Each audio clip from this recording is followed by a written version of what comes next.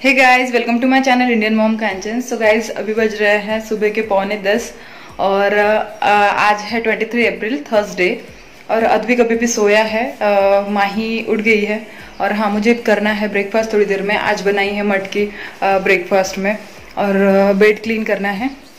तो पहले ब्रेकफास्ट कर लेती हूँ उसके बाद मिलती हूँ आपसे। सो so, यहाँ पर है मटकी बनाई हुई क्योंकि इन्हें भी मटकी दी थी आज टिफ़िन में तो इतने बच्चे हैं।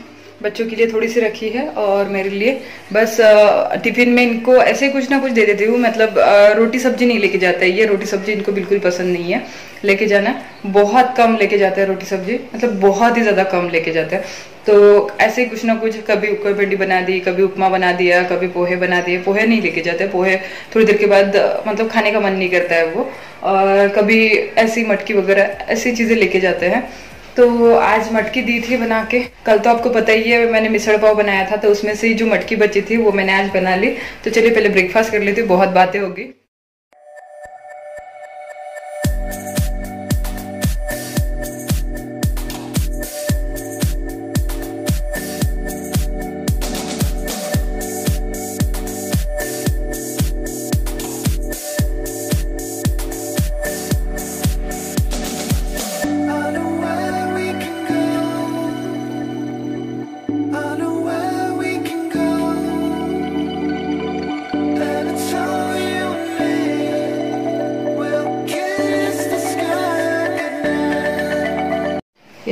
ये पत्ते तुलसी के तोड़ के रखे हैं। मतलब डेली ऐसे ही तोड़ते हैं। ड्यूटी जाने से पहले तोड़ के रख देते हैं इस तरह से।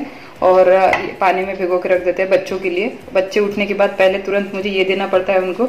उसके बाद फिर जो भी चीज़ें, दूध वगैरह, जो भी चीज़ें देनी है, वो उसके बाद देनी पड़ती है। पहले, सबसे पहले यही देना पड़ता है खाने के लिए। अच्छा होता है बोलते हैं, इसी वजह से वो तोड़ के पहले ही रख देते हैं। और फिर उठने के बाद ये मैं दे देती हूँ बच्चों को।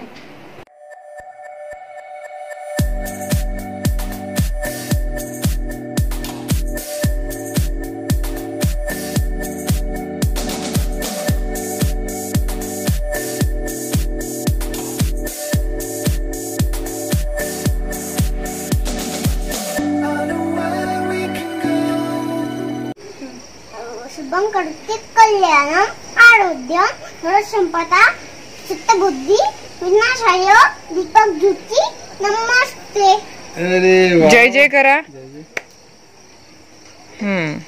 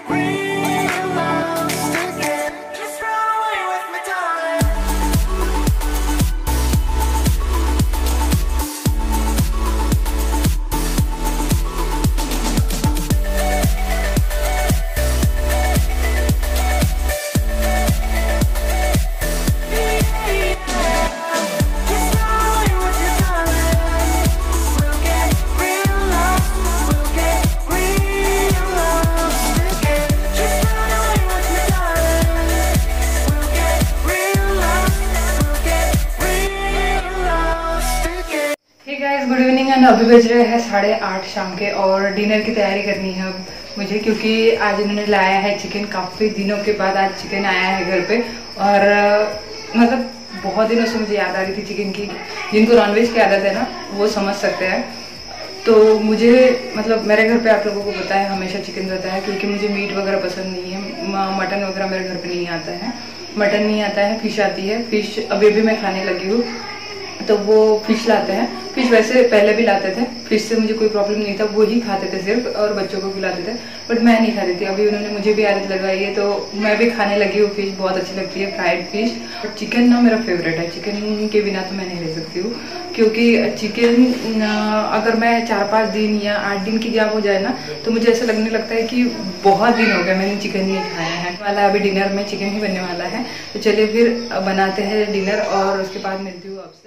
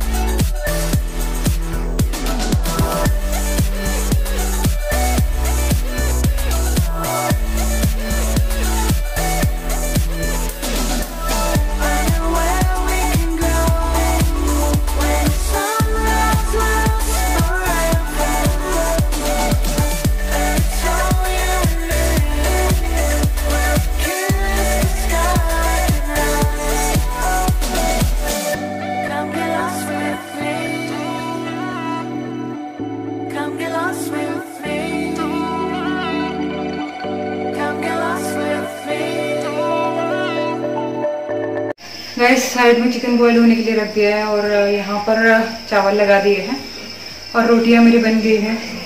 शाम के नहाने से पहले ही रोटियाँ बना देती हूँ, क्योंकि क्या होता है कि उसके बाद फिर थोड़ा सा पसीना वसीना आ जाता है तो मुझे थोड़ा सा घबराहट टाइप की होती है। इतनी गर्मी हो रही है, आपको क्या बताओ यहाँ पर सीटी हो रही है कुकर की और बस अभी चिकन बॉईल हो जाएगा, उसके बाद फिर यहाँ पर मैं उसकी मसाले की तैयारी करूँगी।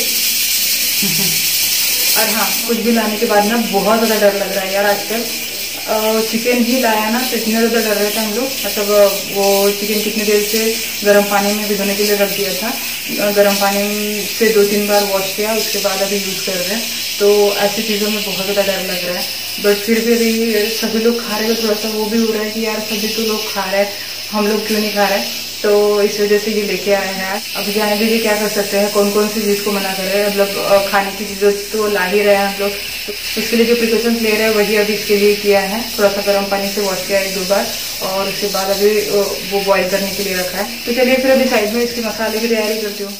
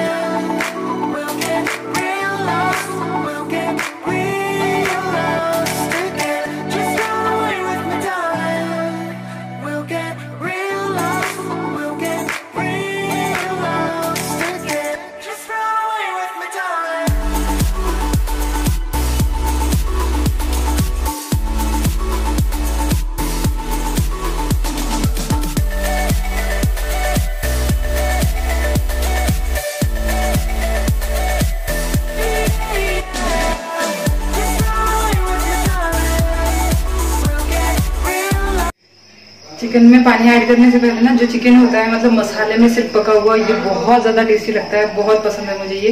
मैं थोड़ा सा इसे निकालती हूँ, सबको देती हूँ मतलब पहले लेके जाती हूँ सबके लिए, इस तरह से। और बहुत ही ज़्यादा यमी लगता है ऐसे वाला। सिर्फ़ मसाले के साथ बना हुआ। इसमें पानी ऐड नहीं किया है, बाद में पानी ऐड करूँगी, पहले मसाले के साथ बहुत देर तक पकने देती हूँ, उसके बाद पानी ऐड करती हूँ। और पहले ऐसे निकाल लेती हूँ, चार पाँच पीस लेके जाती हूँ सबके लिए।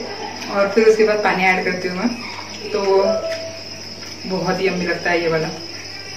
आप खा के ज़रूर देखना, इस तरह से बना के देखना, बहुत ज़्यादा अच्छा लगेगा आपको।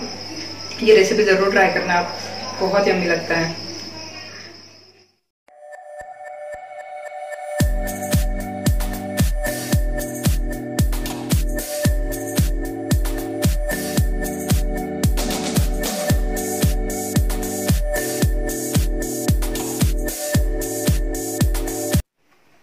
सो so गाइज़ डिनर हो गया है और काफ़ी दिन हो गए ब्लीच नहीं किया है। मतलब मुझे लगता है एक महीना तो हो ही गया होगा, एक महीने से ज़्यादा।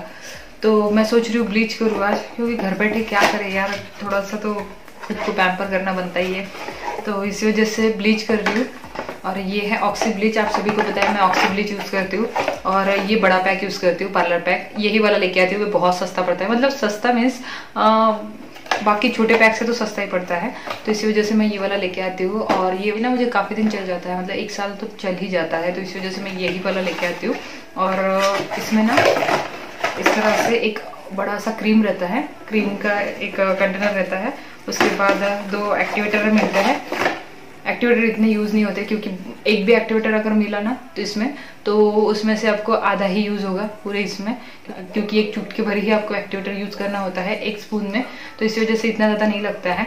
तो दो आपको कंटेनर एक्टिवेटर के मिलते हैं। अगर इसमें से ये बच जाता है ना तो आप बाद में भी यूज़ कर सकते हो इसे मतलब बाद में मीन्स अमोनिया के बदले आप इसे मेनिक्योर पेडिक्योर के पानी में भी यूज़ कर सकते हो। तो ये बाद में अगर बच जाता है ना तो मैं मेनिक्योर पेडिक्योर के पानी में यूज़ करती हूँ इसे। अमोनिया के बदले। तो ये है और उसके बाद इसमें आता है ये प्री ब्लीच क्रीम और पोस्ट ब्लीच क्रीम तो ये आता है इसमें। ये पोस्ट ब्लीच क्रीम है और ये प्री ब्लीच क्रीम है। तो प्री ब्लीच क्रीम जो है वो आपको ब्लीच लगाने से पहले यूज़ करना होता है, लगाना होता है अप्लाई करना होता है। उसके बाद आपको ये पोस्ट ब्लीच क्रीम उतारने के बाद अप्लाई करना होता है। तो सबसे पहले अभी मैं फेस वॉश कर लूँगी। फेस वॉश करने के बाद थोड़ा सा स्क्रब करती हूँ। मतलब जो डेड स्किन है, वो निकल जाएगी उसके बाद मैं अप्लाई करती हूँ bleach so guys face wash करके आ गई हूँ और मैं यूज़ करने वाली हूँ ये रोज वाला गुड वाइब्स का स्क्रब ये मुझे बहुत ही ज़्यादा पसंद है। बहुत ही ज़्यादा फाइन पार्टिकल्स है इसमें और इसी वजह से ना मुझे बहुत ज़्यादा अच्छा लगता है ये। तो और अच्छे से मैं इससे स्क्रब कर लूँगी। बस सर्कुलर मोशन में इसी तरह से आपको मसाज करनी है। स्क्रब के टाइम पे ज़्यादा आपको प्रेशर नहीं देना है। और बस इसी तरह से हल्के हल्के हाथों से मसाज करते हुए स्क्रब करना है आपको। फेस वॉश करके आ गई और ये देखो, बच्चों की तरह पूरा भीग गया है।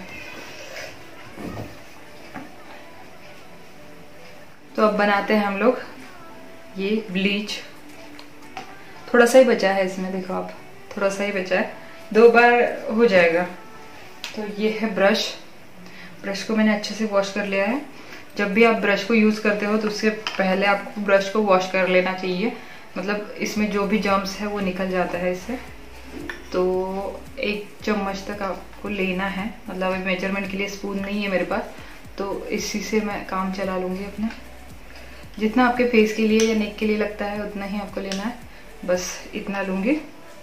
एक स्पून हो ही जाता है ये। इसमें जो स्पून आता है, वो मुझसे गुम हो गया है। तो एक स्पून इतना हो ही जाता है।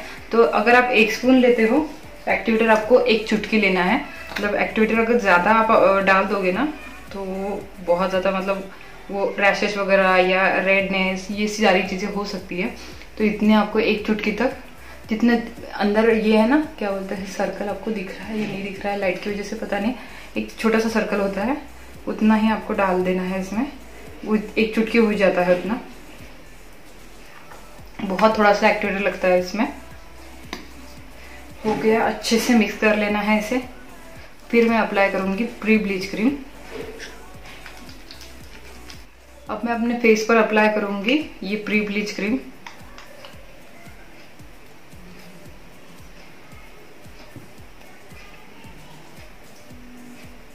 बड़े किट के साथ ही आती है ये प्री ब्लीच क्रीम और पोस्ट ब्लीच क्रीम वैसे छोटे किट के साथ नहीं आती है मतलब छोटे पैक के साथ नहीं आती है, ये पार्लर पैक है तो इसी वजह से इसके साथ आता है। आई थिंक इसके साथ आता है। मतलब मैंने तो नहीं लिया है। छोटा मतलब मैं बड़ा ही लेती हूँ। मैं छोटा नहीं लिया मैंने कभी। बट मुझे ऐसे लगता है कि छोटे के साथ नहीं आता होगा। इतना बचा है। एक बार मैं और कर सकती हूँ इससे। वैसे लॉकडाउन की वजह से मैं घर पे नहीं कर रही हूँ। हमेशा मैं घर पे ही करती हूँ। तो इसी वजह से मैं आपके साथ, इससे पहले भी मैंने आपके साथ शेयर किया है। मैं हमेशा घर पे करती हूँ। तो ये वाला जो क्रीम है, अच्छे से हमारा मिक्स हो गया है। और हाँ इसे बनाने के लिए मतलब ब्लीच बनाने के लिए आपको सिर्फ़ फाइबर की या कांच की ही कटोरी यूज़ करनी है। स्टील की कटोरी आपको यूज़ नहीं करनी है। मतलब मतलब जो आपके फेस के हेयर होते हैं, जो छोटे छोटे हेयर होते हैं, उसके डायरेक्शन में आपको इसे अप्लाई करना है मतलब नीचे के जैसे। इसके डायरेक्शन में आपको इसे अप्लाई करना है अच्छे से। बस ब्लीच अप्लाई हो गया है। इसे मैं रखूँगी 15 से 20 मिनट तक। स्किन टोन के अकॉर्डिंग आपको रखना है इसे। मतलब जैसे कि आपकी स्किन टोन बहुत ज़्यादा डार्क है तो आपको पाँच मिनट तक ही रखना है। अगर मीडियम है तो आप रख सकते हो दस से पंद्रह मिनट तक अगर आप फेयर हो तो आप बीस मिनट तक रख सकते हो। मैं पंद्रह मिनट तक रखूँगी और इसके बाद इसे सिंपल पानी से वॉश कर लूँगी।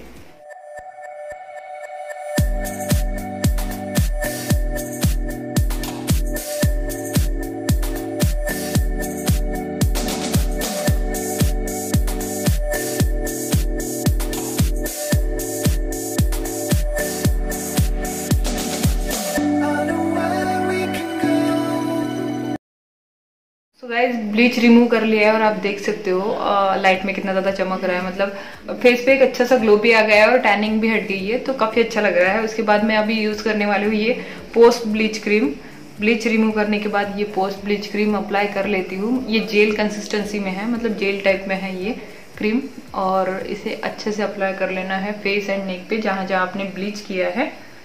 और बस इसे ऐसे ही छोड़ देना है ओवरनाइट मैंने नाइट में इसलिए किया है क्योंकि ब्लीच करने के बाद बोला जाता है कि आपको फेस वॉश यूज़ नहीं करना है ट्वेल्व आवर तक और कोई भी मेकअप नहीं अप्लाई करना है ट्वेल्व आवर तक आपके फेस पे। तो इसीलिए मैंने ना रात को यूज़ किया है। तो मेरा स्किन केयर भी हो गया है और ब्लीच भी हो गया है। तो, तो चलिए फिर अभी बहुत लेट हो गया है। तो इस ब्लॉग को यही पे एंड करती हूँ और नाम लेने का टाइम आ गया है। तो सबसे पहला नाम है ज्योति राजा। पता नहीं उनका सरनेम राजा है या उनके हस्बैंड का नाम राजा है बट उन्होंने ज्योति राजा उनके अकाउंट पे नाम है और उन्होंने नाम अपना बताया नहीं है। तो इसी वजह से उनका नाम मैं ले रही हूँ ज्योति राजा। और सेकंड नाम है मेरी सब्सक्राइबर है। उन्होंने अपने बच्चों का नाम लेने के लिए काफ़ी दिनों से रिक्वेस्ट कर रखी है। तो उनके बच्चों का नाम है शिवा, वंश एंड शिवान्या। तो congratulation to both of you dear और बस इस ब्लॉग को यहीं पे एंड करती हूँ इसके साथ और मिलती हूँ अच्छे से नए ब्लॉग में आपसे।